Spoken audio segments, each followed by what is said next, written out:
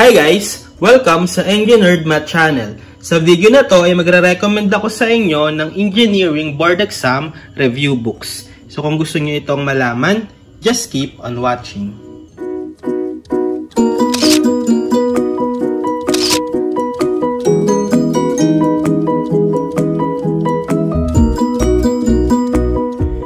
Okay, so this time ay magpapakita naman ako sa inyo or magre-recommend ako sa inyo ng Engineering Board Exam Review Books. So meron akong naunang video kung saan pinakita ko sa inyo yung iba't ibang engineering books na pwede nyo magamit sa inyong pag-aaral kung kayo ay engineering students like electronics engineering, mechanical engineering, electrical engineering, civil engineering, and so on. So kung hindi nyo pa yung napapanood, isilink ko na lang para ma-check nyo.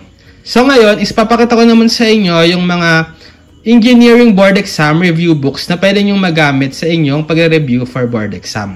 So itong mga engineering board exam review books is pwede nyo rin naman actually magamit kung kayo is undergrad pa lang. Kasi yung mga content nito is pwedeng mga practice problem na ginagamit din ng ating mga professor minsan kapag nagbibigay sila ng exam. So para ma-advance din kayo sa mga pwede nyong ma-encounter sa board exam habang nag-aaral.